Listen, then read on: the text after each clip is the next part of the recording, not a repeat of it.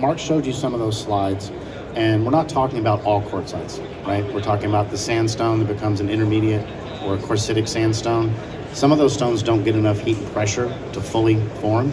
So in order for those to be marketable, what do we do? We add resin, all right? We add resin in the block. We can vacuum bag them. Um, they're also acid washed to get any of uh, ferrous material that's out of there because what do your clients want? White, gray, white, gray, gray, white, right? They want the same thing. They don't want the orange earth tones. So as you do these, they will fill any pits or holes, the resin, but it doesn't all get filled. There are areas in there that still have voids. And we'll get into those pictures, you know, and again, your suppliers, we didn't say this on Tuesday, but all these quartzites are not the same and different suppliers are able to supply, usually from Brazil, different grades. Unfortunately, you don't know the problem is sometimes until post fabrication and it's already in the home, and that's when your phone rings.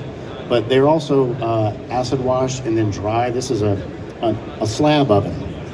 Um, there's no one here selling slab ovens. These are customized things, but after you've resined them, you're having to get the moisture out of them. So this is where they do it. Um, and they're mesh backed. If you look at the mesh, remember uh, some of your mosaics would just have a mesh back, but most of these have a complete fiberglass back. So what do we do on a six-sided piece of stone when we mesh the back of it? completely cut off all ventilation from one side of it. And sometimes that's not just an entry point, that's an exit point for moisture. So again, uh, after it's resin, acid washed, dried, etc. And so that resin does provide a number of benefits. It does give us a, a nicer surface finish. It fills some of those surface voids. It does add some bit of strength in holding, mm-hmm. bonding some of those looser minerals together. The fill is going to fill in those voids. Uh, most of them, when it first came out, again, most of these intermediate quartzites, it's very new to this industry. We have, they haven't been in there for decades.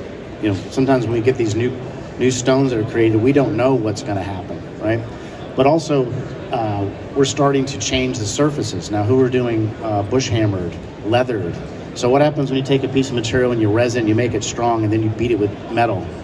You, you loosen it all back up again. So certain finishes of certain stones may react differently.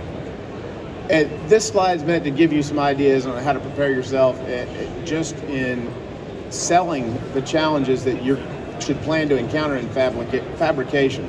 We talked about it being hard, very scratch resistant. It's going to be hard on your tooling and machinery as well. It's going to be slower to cut, slower to process. It's going to um, eat up more of your tooling or, or wear your tooling down faster.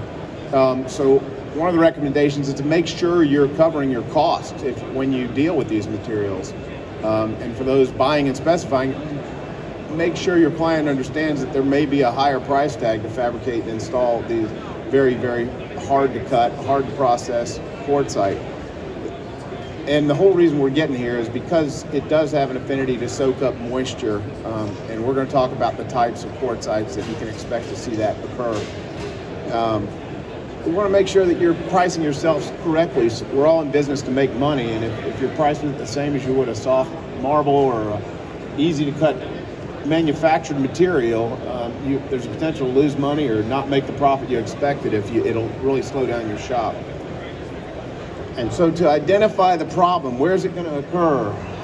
Um, some of these problems can occur before fabrication when moisture gets in it. That's a good thing. If, if the slab already shows problems, pick another one. Uh, sometimes these will happen during fabrication. I've seen them up to nine months post install. So 90 days have gone by, 120 days have gone by, you haven't got a call from your customer, and all of a sudden you don't even remember that customer because you're so busy, and they send you pictures. The one thing you're going to hear us say over and over again is time. So in your fabrication schedule, if you're doing granite, marble, man-made materials, and quartzites, you need to let the builder, the client, the specifier know that you need extra time. I, I know fabricators that refuse to cut quartzite anymore because they've gotten so frustrated. That's not really what we want. But you need to know, understand that you need extra time. If it's summer, sunny, winter, cloudy, if you live in the north, the south, geology, or geography, I'm sorry, it can make a difference. So let the stone dry out and don't give yourself a schedule because next Thursday the client wants the quartzite installed. You're going to have problems.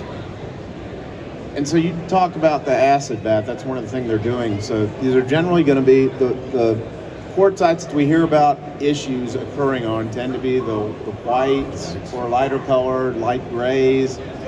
Generally not the Taj Mahal or Madreperla, those more beigey. Those tend to be further along in that metamorphosis process where they're more tightly fused together, less absorbent.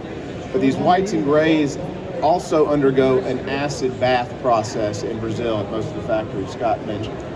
The reason being, in amongst that beautiful white quartz, there's also a natural occurring um, ferrous mineral, iron. Uh, what does iron do? It rusts. It turns yellow, turns orange. Um, so they try to remove as much of that as possible before they resin it or before it's finished so that it doesn't have that affinity to turn orange. We'll see lots of cool photos of some of these things that happen in the field when that's not done correctly. The other point a friend of mine made, one of my Brazilian friends that has a geologist on staff here at the show, made was that not all factories are the same in where this material is coming from, mostly from Brazil. Some of them apply resin with a hand squeegee and, and air cured. Some of them have fully formed vacuum lines yeah. and drawing it in there. Um, and some of them are very open and forthcoming about the resins and the processes they use. And so one of the points he wanted me to make sure we, we hammer home is make sure who you're buying from, your supply chain, make sure they're honest and open with what's happening to that slab before it gets to you, what products are being used, what's involved in their resining, the seal, or any additives or chemicals used in that process. The more honest ones, the more advanced ones are going to be really open about that process because they're getting the calls too. They're hearing about this material after the fact.